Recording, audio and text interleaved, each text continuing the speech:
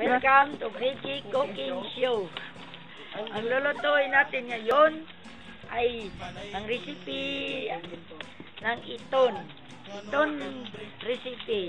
Ang gagamitin natin ingredient, sibong tinunaw, at saka itong green na rice, saka itong mga daon-daon, Utang naman ikaw, utang na. at saka itong balingoy Japanese. At saka Japanese kamatis, likod na iton, patula ni iton, at saka sinumpang iton. Lalagay, lalagay natin ang sibong tinunaw. Sipos. Ubos, ubos, ubos. Kailangan damihan. Walang... Ah! Picture na! Hindi ko mo ito mapiska nga mo ka mapiska.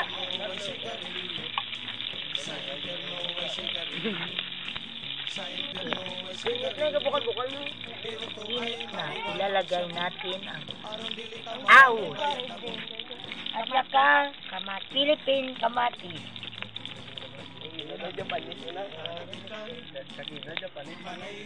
Hari yung uwin. Nga pa mabili no? Karoon pa na iya.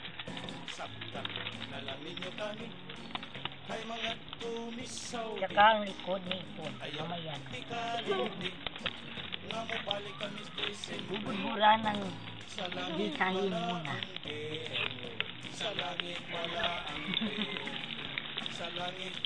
Hugay ko mo wala tawa. Ito